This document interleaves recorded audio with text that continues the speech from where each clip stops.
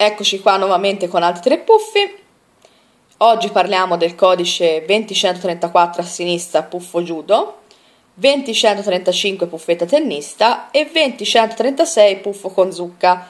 Vi rammento e vi ricordo che sul mio blog thesmurfsworld.blogspot.it siamo già giunti alle serie sempre marca Shake, sempre in gomma dura e sempre dipinti a mano. Quindi se avete un pochino più fretta, non vi interessano i video, insomma lì trovate sia le foto che la descrizione.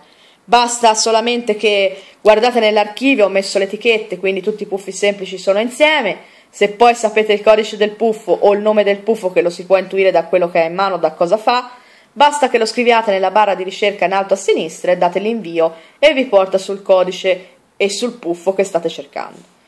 Bene, torniamo a questi puffi. Iniziamo con il puffo judo, codice 20134, puffo che più che judo sembra che stia dormendo allegramente in piedi, molto carino. Eccolo qua.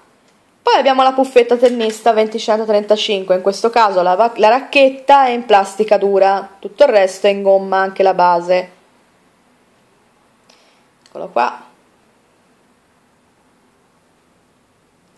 Poi abbiamo il puffo con zucca, io vi sto facendo vedere il puffo con zucca che ha la faccia, la zucca, però in teoria sarebbe quello classico, quello senza la faccia, non è che l'ho disegnata io, esiste, solo che mm, il più classico sarebbe senza questo disegno davanti che ripeto non l'ho fatto io ma esiste proprio.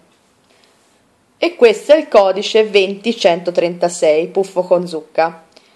Oltre a rammentarvi del eh, blog, come vi ho detto in precedenza, vi ricordo che mi trovate su Facebook come Miki Nesti o nel gruppo Smurfs in the World, un gruppo pubblico dove si parla di puffi, dove gradirei non ci fosse pornografia, violenza, cioè cose assurde perché non ha senso, stiamo parlando di una collezione dove non ci sono puffi in vendita, però ci sono collezionisti appassionati di tutto il mondo. Quindi, se avete bisogno di informazioni, volete solamente scuriosare, siete tutti ben accetti, sempre che si rispettino queste piccole regole di comportamento civile, niente di che. Mi trovate anche su Twitter come Sognatrice32 e su Instagram come Sognatrice14. Vi aspetto con i prossimi tre puffi e vi ringrazio sempre.